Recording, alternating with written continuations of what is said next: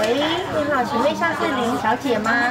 我是综合卫生所陈小姐。电话声不断，疫情没有停，新北市综合卫生所人员接电话的手也没停过。但同时继续延烧的还有恩恩案，从恩恩爸到外界都想问，到底哪个流程卡住了？因为当时的法传系统通报的确是比较慢，所以他其实在前几通的电话当中，我们接到了一一九的来电，然后也跟确认了这个家属的这个状态。在查询资料的时候，竟然在系统上是查不到，所以同仁会觉得怎么会这个样子？新北卫生局给出回复，就是因为中央发传系统塞车，导致送医也塞车，还发出手板澄清 SOP 不是新北独创，其他县市也一样。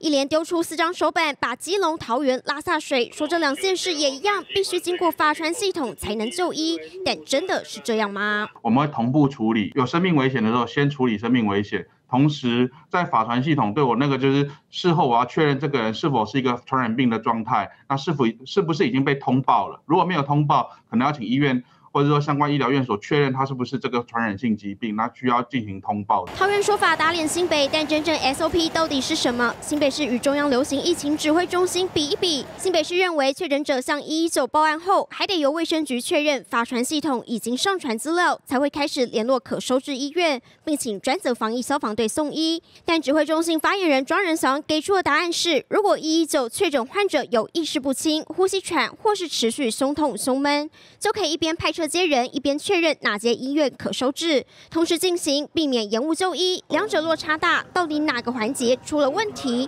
究竟需不需要经过发传系统？新北依旧自认没错。当时的法传系统通报的确是比较慢。金新闻综合报道。